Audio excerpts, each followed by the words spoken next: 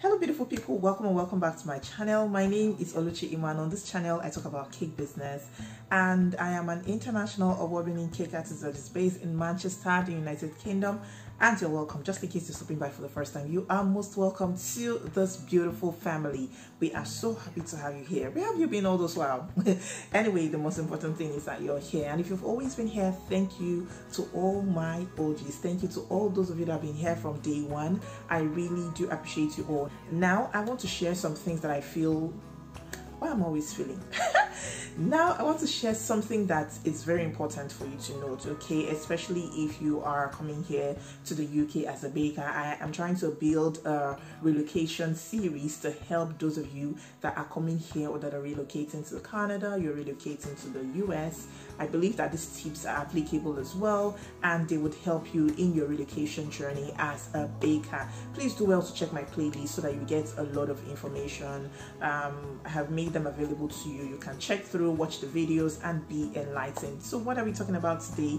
You would get to know in a minute. Without further ado, let's see on the other side. So, I would call them baking truths. Okay, so they are baking truths you need to know as a baker if you're relocating to the United Kingdom, and these are based on my personal experiences. Please, I always like to put this disclaimer so that you will know that I'm sharing from the things that I've observed, the things that have happened to me, my own experiences, and the things that I have learned. So, the first thing is this baking pans are different. Okay, so in Nigeria, you also have the same situation where baking pans are different, but I think here I have observed that there are different kinds of baking pans. You have um, different types, different brands, different qualities as well. Um, particularly, this is from my own standpoint. Please don't take it to heart, okay? But from my own standpoint, I don't think when I'm ready, ready, ready to invest in pants that I will buy these pants that have a detachable base. Detachable base. Let me take that again. This detachable base pants i don't know if you you know those kind of pants or you've seen them before. Um this wants to have a buckle by the side and then have base base that that can that you can remove. I really don't get the best results with them when baking. This is my reason. I don't get the best results. Do you experience the same thing? Do you like those pants i think i would rather go for a stronger brand or a more quality brand. The ones that look like wholesome pans. when i mean wholesome i mean there's nothing that you need to buckle or buckle or there's nothing that you need to attach or detach or anything. I just want something that is okay and fine. I don't know what what um, materials they're made of exactly but an example of this would be the pme brand. Please this is not a this is not a paid advert. It'll be the pme brand. I really really like those pants. I love those pants because they look sturdy and they're of different heights. Like you can get whatever height you want and they give the best results. Do they give the best results? They give a good results when you're baking your cake. So this is what i would rather go for. So please note that pans are different there are different types of pans that you can get. Um one of the things i observed was that my cakes used to buckle then and i wasn't having this issue back at home. But if i bake with those buckle pans my cake will just sink inside. And i don't know why it was happening. Please if you have an experience in this area let me know. If you've experienced something like this or you can relate to what i'm saying please let me know in the comments. So that is it. Baking pans are different. So you need to get a very very good one if you want to get the best results when you bake your cake number two is something i've talked about i had quite an experience with and i've made um, like two videos about this experience is that oven temperatures are different oven temperatures are different huh? like where I was before, before I moved to my own place, the temperature we use there is different from what I use now. And the person that also helped me, um, helped me with resolving the issue that I had with my oven, also has a different baking temperature. I also had to ask, I also had to ask my teacher what her oven temperature and i can see that there are variations like there are differences. So the best thing for you to do is when you come calm down and then understand your oven. Before you start baking jump into it. Try and practice for yourself. Try and practice with your own cakes and see the result that it would give you because i tell you they are um, different. And like i said i observed that most of the, the the baking temperature here predominantly from what i've seen is in celsius. So please understand what really works for you. Your oven settings check online if you can get the manual. If you have the physical um, hard copy of your manual all well and good. Please study it very well.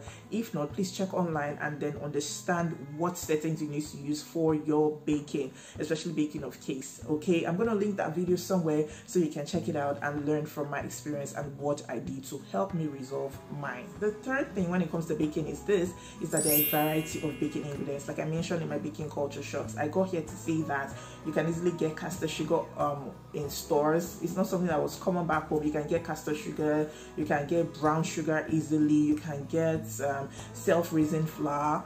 Cake flour I've not seen, but you can get coconut flour. I've, so, I've seen I've seen coconut flour, not I've seen.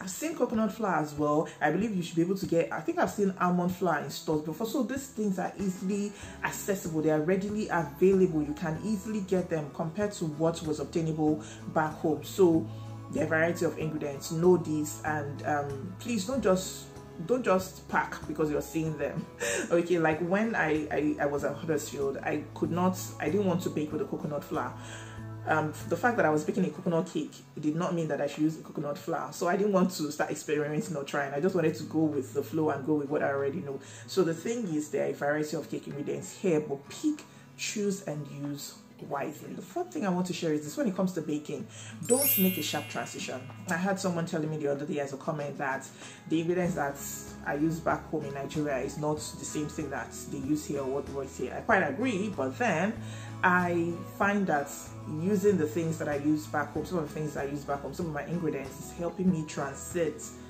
gradually. So I didn't make a sharp a sharp change like I didn't just come here and start using whatever or the ingredients that I find here. I felt more comfortable and I felt it would be a wise thing for me to do, bring in some, not everything. Like I didn't bring flour. I was going to carry flour. I was going to carry sugar. I was going to carry icing sugar. okay. Some of the things I had left, not that I intentionally went to buy them, but some of the things that I had left off of baking, I just wanted to bring them over here, but I dropped them at the last minute. I dropped them at home. But I brought some very important things to me, like my cocoa powder, my red food color, my red velvet food color. I brought it here. And my flavors, I brought them here. So it will help you with transitioning gradually. And I think it is something that you should consider that will help you. So don't make a sharp transition.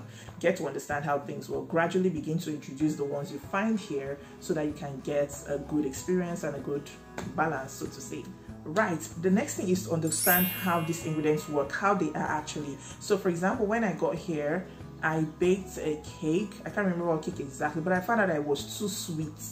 I don't know if the sugar here is sweeter than what I know. I know that sugar has a sort of universal taste, uh, pardon me. But then I found out that the sugar, the cake I baked was too sweet compared to what I would have at home using the same recipe measurement. So um, you need to understand how the ingredients work. So understand you need to study it, so to say.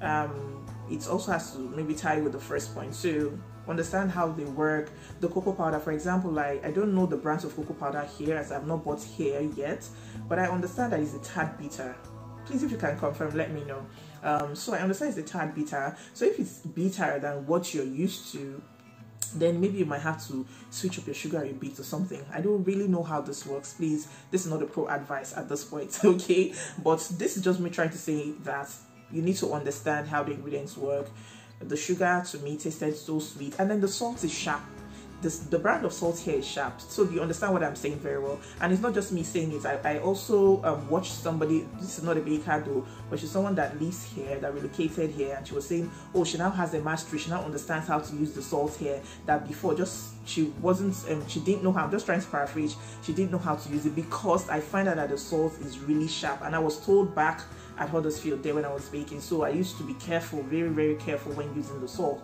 So the salt is sharper to me. The sugar tastes sweeter. Um, they said the cocoa powder is a bit bitter, things like that. So if you're hearing this and variations and you're hearing this story, what do you need to do? Understand these ingredients when you're using them. So this is a short, sweet video straight to the point about baking truths that I think you need to know if you are relocating to the UK as a baker and I hope that you enjoyed this video please don't forget to hit the like button and don't forget to subscribe to my channel. I really really look forward to your support and I appreciate those of you that have been doing great um, telling people about this channel sharing my videos engaging supporting liking and everything. Thank you so much and God bless you don't forget to hit the notification bell as well so that you're notified when I upload a new video and also a channel membership our channel membership is up I'm running at the moment I'm still looking to invite those of you who would like to learn from me, would like to be mentored by me, would love to have a deeper connection with me. Just click the join tab and then you would see details on how to enroll and how to make your payments. Until I see you in the next video, stay happy, stay safe, and stay blessed.